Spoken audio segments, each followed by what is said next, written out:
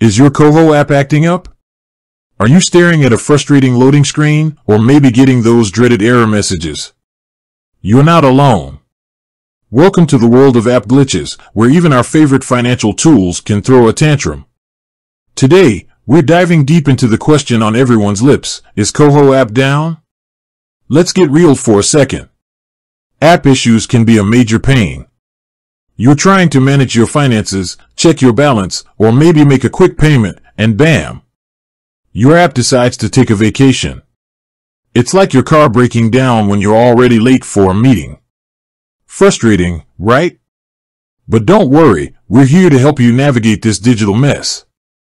First things first, how do you even know if Koho is actually down? I mean, it could just be your phone playing tricks on you, right? Let's rule out the obvious.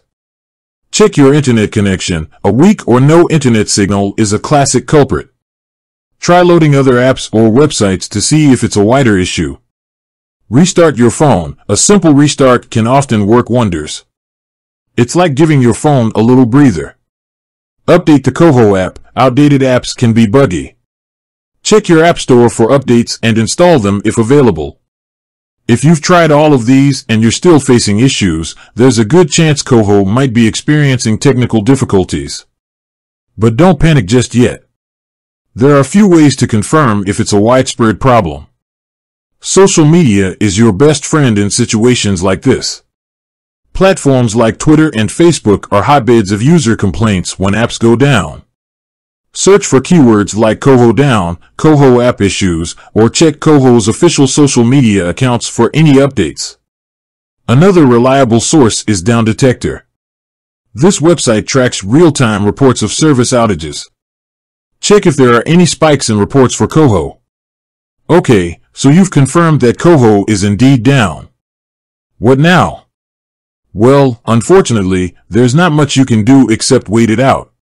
App developers work tirelessly to fix issues, and it's just a matter of time before Koho is back up and running. But let's talk about how to handle this downtime. First, take a deep breath. Panicking won't solve anything. Use this time to do something else. Maybe catch up on your favorite show, or tackle that to-do list.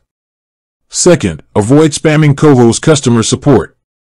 They're probably overwhelmed with inquiries, and your message might get lost in the flood. Be patient and wait for an official announcement about the issue. Now, let's talk about preventing future app headaches. While you can't control when an app goes down, you can take steps to minimize the impact. Keep your app updated. As mentioned earlier, outdated apps are more prone to issues.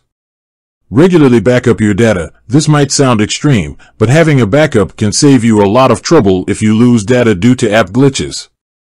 Consider using alternative payment methods. While it's not always convenient, having a backup payment method can be a lifesaver when your main app is down. So, there you have it. A comprehensive guide to dealing with a Koho app outage. Remember, it's frustrating, but it happens to the best of us. Stay calm, check for updates, and be patient. With that said, thanks for watching and until next time.